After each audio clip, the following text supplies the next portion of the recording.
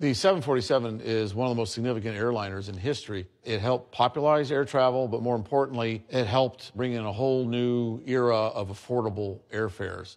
When the 747 entered service in the early 1970s, quite a few of them were fitted with all sorts of additional amenities like bars and piano lounges. It could seat 400 people. It's huge and was the largest airliner for decades. The distinctive feature of the 747 was the hump on the top of the aircraft. You could have additional seating or a lounge. You could get to it by a spiral staircase. It was quite romantic for the time. But economic reality hit home very quickly for most of the airlines when they realized they could make a lot more money if they took the lounges out and put in seats.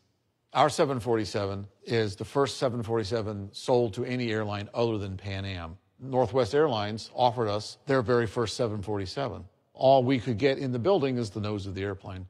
The 747 was noted not just for its size, but also because it had terrific range. It could fly much farther than any airplane beforehand.